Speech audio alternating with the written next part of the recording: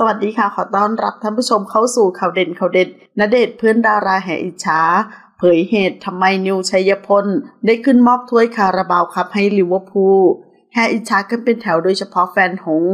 นิวชัยพล จูเลียนภูพัฒน์หลังเจ้าตัวเปิดภาพที่ Wembley Stadium พร้อมแคปชั่นว่า สิ่งที่พูดกับคล็อปป์ thank you from Thailand thank you for the best nine year of football เชียร์บอลเชียร์เบา ท่ามกลางเพื่อนๆ คนบันเทิง และแฟนๆ แห่อิจฉาณเดชคูกิมิยะก็เข้ามาแซวว่า นอนหลับฝันดีละสิ ไมแล้วพัสลันก็ลั่นว่า อิจฉามากๆ เจดเจดพี่พัดก็ได้แต่อุทานว่าโอ้ไม่กอดเป็นต้น แถมยังเผยคลิปเอ็กซ์คลูซีฟมอบถ้วยแชมป์คาราบาวครับ 2024 ให้กับคอป และลิเวอร์พูลโมเมนต์สุดฟินเพื่อแฟนบอลลิเวอร์พูลไทย คลิปสุดปลื้มปริ่มขณะขึ้นไปมอบถ้วยคาราบาวครับลีกครับฤดูกาล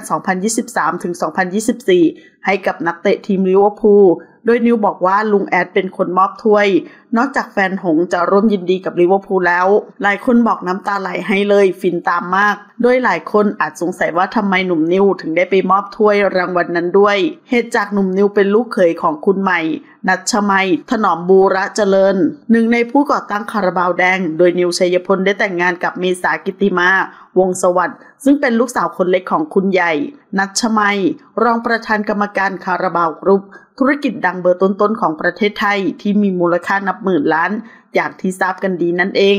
ขอขอบคุณข้อมูลจากข่าวสดขอบคุณค่ะ